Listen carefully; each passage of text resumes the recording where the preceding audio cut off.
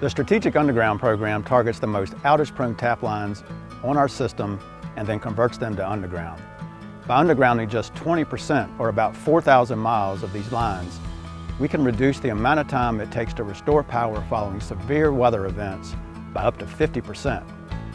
To ensure we meet that objective, we thoroughly review outage frequency data for all tap lines. As you might expect, these are the lines that are the most difficult and time-consuming to repair. By eliminating these difficult work repair locations, our crews can be much more efficient in getting the lights on for everyone. Once the lines are selected, each project requires a partnership between Dominion Energy and our customers to develop the undergrounding solution that makes sense for each project. We collaborate with our customers to identify the optimal location for equipment, and some customers sign easements that provide permission that allows us to install the new underground facilities. Once installation begins, we mitigate impact to our customer's property by utilizing directional drilling.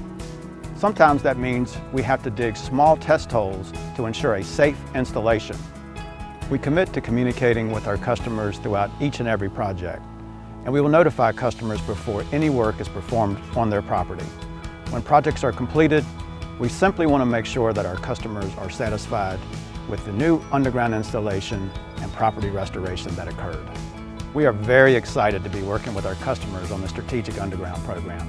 And as each project is completed, customers all across our service territory are benefiting from shorter and fewer power outages.